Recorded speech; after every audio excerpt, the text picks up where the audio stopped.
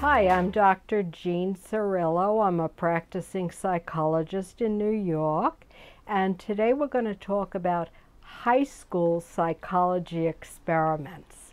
Now we can make up some really interesting game-like experiments that will still teach students about psychology. One of the first ones would be following instructions. For this, you'll need a well-trafficked area in the halls in the high school and a video camera that's not too conspicuous but that can film the area. Then you get either a cardboard or a wooden box, put a cover on it and write clearly on top of the cover, do not open.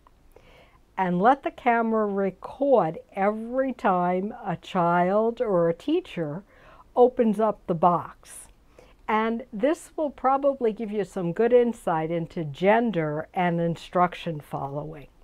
It will certainly be very interesting and a lot of fun for the students to, in effect, catch somebody else opening the box. Another thing would be a good experiment on conformity. Take a group of students and tell them that you're going to give them times tables and you want them all to say the wrong answer. Let's say it's 4 times 5, say 25 instead of 20. And then get another student in who's not part of uh, the original group. And you might find that that student, once he or she hears the others say a certain answer, is very likely to conform. Once that happens, everybody can let them in on the joke, and that can certainly open up discussions about conformity. Another good experiment is to get some soda that's clear, like a lemon and lime, something that you could put food coloring in.